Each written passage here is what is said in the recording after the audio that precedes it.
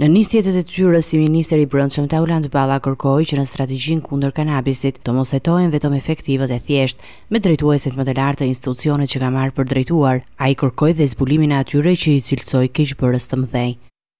Qëndron e vërteta se janë goditur shumë keqbërës të vegjël nën uniformë. Po keqbërës të mëdhenj më shumë se sa pak, për të mos thënë aspak.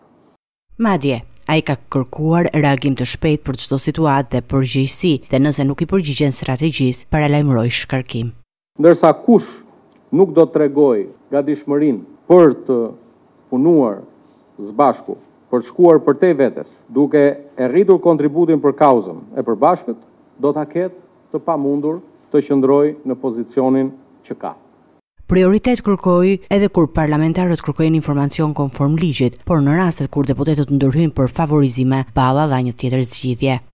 Ju keni keni detyrën t'i dëgjoni me respekt sa herë ju bie telefoni prej çdo deputeti. Por për çdo rast që arsyeja e telefonatës përbën ndërhyrje në kryerjen e detyrës tuaj, ju kërkoj që deputetin këtej e tutje ta drejtoni tek unë. Balla tha se policia ende nuk ka kryer punën e saj lidhur me ngjarjen e rëndë të Krujës dhe kërkoi arrestimin e djalit dhe vëllait të ish-deputetit Rrahman Rraja.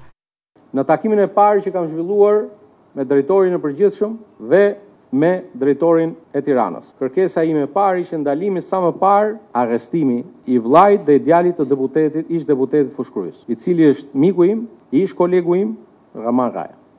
Edhe pse theksoi se nuk e krahason veten me asnjë nga pasardhësit e tij në detyrë, kërkoi që policia të mos shihet si pronë apo parcelizim.